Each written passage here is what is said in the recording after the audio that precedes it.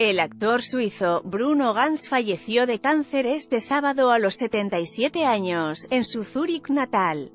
Fue uno de los grandes intérpretes del cine europeo en el último medio siglo, encarnando papeles inmortales como el de Ángel Damiel en Wings of Desire. Para muchos, especialmente las generaciones más jóvenes, el papel más conocido de Ganz fue el de Adolf. Hitler en Downfall, controvertida película alemana de 2004 en la que se muestran las últimas semanas del Führer, antes de su suicidio. Su actuación lo posicionó en la memoria colectiva por la serie de videos que salieron en Internet y redes sociales en los que supuestamente Hitler se enoja por diversas situaciones sociales, económicas, chismes y eventos de coyuntura. En la escena se narran los últimos días de Hitler, interpretado por Gans, en su búnker de Berlín. El alemán escucha de sus generales que la contraofensiva final contra los soviéticos nunca tuvo lugar y la derrota de Alemania es inminente.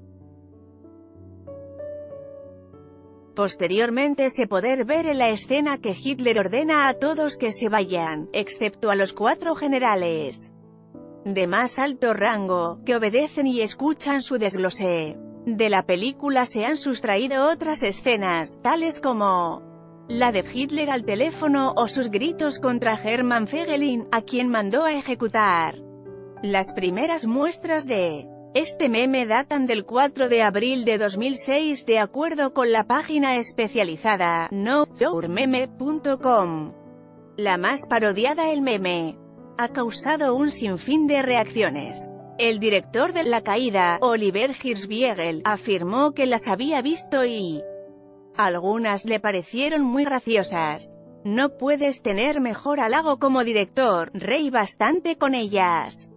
De acuerdo con la productora de la cinta esta parodia, así como todas las que se hicieron posteriormente sobre el Führer, solamente trivializaban la tragedia humana que él causó, como el holocausto. Gans encarnó un Hitler con unas cualidades humanas poco estudiadas en él cine hasta entonces, cabalgando entre la desesperación por la inminente derrota, la fragilidad o la furia por pensar que todo su entorno le había fallado y debía morir con él.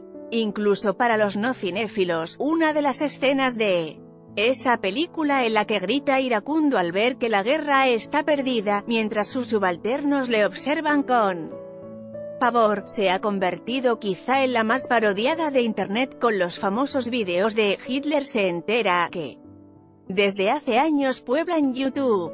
Sigue leyendo, ahora matan en asalto a Rodolfo, le querían robar planta eléctrica, le dieron Balazo en la cabeza así acosaron a Ana, de 15 años, en el camión, empezó con el codo a tocarme. El pecho, Blaise Ingram, el menor que corre a 25 km por hora y se perfila a ser el siguiente Usain Bolt.